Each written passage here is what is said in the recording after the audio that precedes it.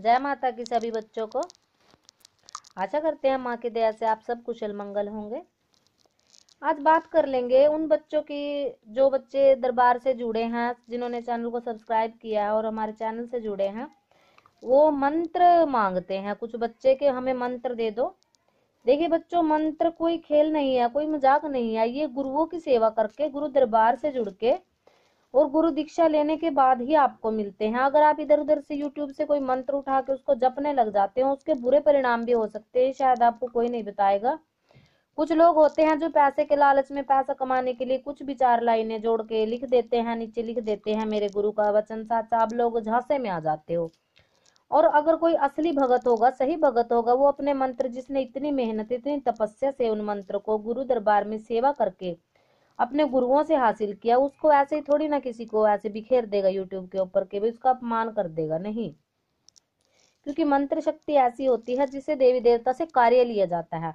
अगर हम कार्य सिद्धि चाहते हैं तो हमें मंत्र सिद्ध ज़रूर करना होगा, और मंत्र सिद्ध कैसे होगा? गुरुओं की देख रेख में होगा। बिना गुरु के आप मंत्र अगर सिद्ध कर लेते हो और उसको चला देते हो तो देखिए अगर आप बिना गुरु के मंत्र आपने सिद्ध कर भी लिया और आपने उससे दूसरे बंदे का किसी का कार्य कर भी दिया तो बेटा आपको बहुत परेशानियाँ भुगतनी पड़ती हैं।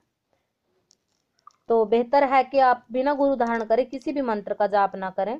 आप ओम नमः शिवाय का जाप कर सकते हैं, जो गुरुमुख नहीं है, और जो माता का नवारण मंत्र है, ओम एम ह्रीम क्रीम, चामुंडाई विचय इन मंत्रों का जो मंत्र बीज ये वैदिक मंत्र है, आप इनका जाप कर सकते हैं। खाली ओम ओम स्वयं एक मंत्र है, आप ओम नाम का जाप करिए।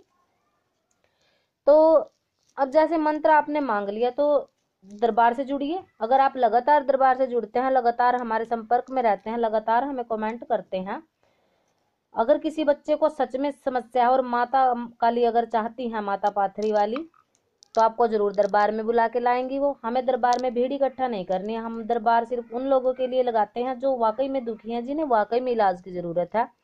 क्योंकि बहुत सारे देखे हमने दुनिया के भीड़ इकट्ठा हो जाती है, किसी को कोई दुख तकलीफ़ होती नहीं है, पर हर किसी की एक ही डिमांड होती है कि भाई हमें बरकत नहीं है, हमें पैसे चाहिए। देखिए, माँ पैसे और बरकत कैसे देती है? आपके काम धंधे को चलाती है, अगर आप उन पर विश्वास करते हो। सारा खेल भक्ति में, भक्ताई में विश्वास का होता है।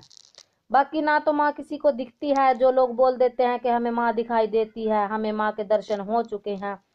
जिनको माँ के दर्शन हो चुके हैं, वो तो अपना मानसिक संतुलन खो ही देता है। या फिर दुनिया को छोड़ के चला जाता है? मतलब कहने का, ये जिनको माँ के दर्शन अगर हो गए हैं साक्षात, खुली आँखों से तो वो मोह माया से दूर हो जाता है, मोह माया को त्याग देता है। हाँ स्वपन के माध्यम से आपको ज़रूर माँ के दर्शन हो सकते हैं, इसमें कोई झूठ नहीं है। पर हमारा मकसद ये नहीं है कि हम लोगों को भड़काएँ, भटकाएँ, या उन्हें, उनके जो भक्ति मार्ग में वो चले हुए हैं, उससे दूर कर दे, उनके दिमाग में कोई वहम डाल दे। नहीं, हमने सिर्फ़ इसलिए चैनल की शुरुआत किया ताकि जो बच्चे भटक रहे हैं, उनको सही दिशा मिले।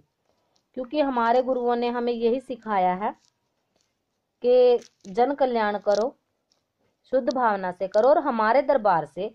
जब किसी का कार्य बनता है तो सिर्फ़ माँ की कढ़ाई ली जाती है। इसके अलावा एक पैसा भी हमारे दरबार से नहीं लिया जाता।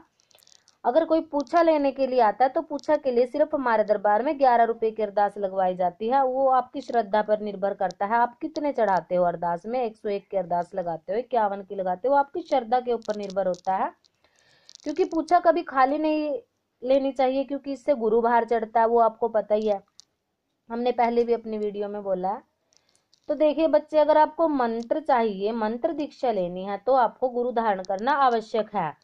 और अगर आप बिना गुरु के कहीं से यूट्यूब से कोई मंत्र उठा लोगे तो इसके आपको नुकसान भुगतने पड़ते हैं, क्योंकि जब आप मंत्र जाप करते हो तो आपके चारों तरफ़ जो गुरु होता है, गुरु मंत्र का पहरा लग जाता है तो मंत्र जाप से नकारात्मक और सकारात्मक नेगेटिव एंड पॉजिटिव दोनों तरह की ऊर्जाएँ खींचती हैं।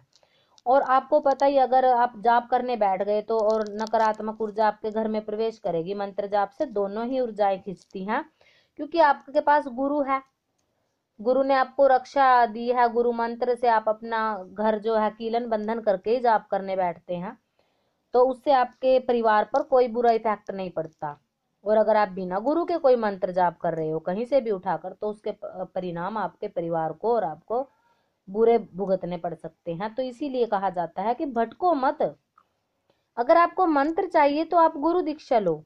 किसी भी दरबार से लो किसी भी अच्छे गुरु से जो आपके बिगड़े कार्य बनाने में सक्षम हो, जिससे आपके घर में जो काम आपके खत्म हो रहे थे, बिगड़ रहे थे, और उनके यहाँ आपने साल छह महीने आप गए और आपके सारे कार्य सीधे हो गए, और उन्होंने आपकी जो शक्ति सवारी है, शांत कर दिया, उसको वो गुरु आपके लिए सही होगा। ऐसे नहीं है कि बेटा, आपने यूट्यूब पे देख लिया कि हाँ इनके पास तो बहुत भीड़ जमा हो रही है देखिए, कुछ लोग दिखावे के पीछे भागते हैं और भीड़ जमा करने की उनको आदत होती है, जबकि हम ऐसा कुछ नहीं चाहते, क्योंकि हम दरबार सिर्फ़ उन दुखियों के लिए लगाया है जिन्हें वाकई में इलाज की ज़रूरत है। और माँ उन्हें स्वयं उठा करके ले आती है जिन्हें इलाज की ज़रूरत होती है और जो जिसे माँ चाहती है अपनी कृपा करना। तो आप माँ के दरबार के अरदास लगाइए, माँ काली से प्रार्थना कीजिए कि हमारे यहाँ जो माँ का दरबार लगता है, अगर माँ की इच्छा हुई तो आप दरबार तक ज़रूर पहुंचोगे। किसी न किसी माध्यम से आपको दरबार का एड्रेस ज़रूर देंगे। तब तक के लिए माँ की सेवा करते रहिए, खुश रहिए और जय माता की।